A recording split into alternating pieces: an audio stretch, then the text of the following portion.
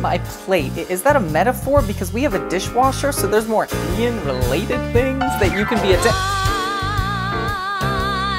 I'm feeling hungry. Hungry. Starving for a meal. Feed her, Ian.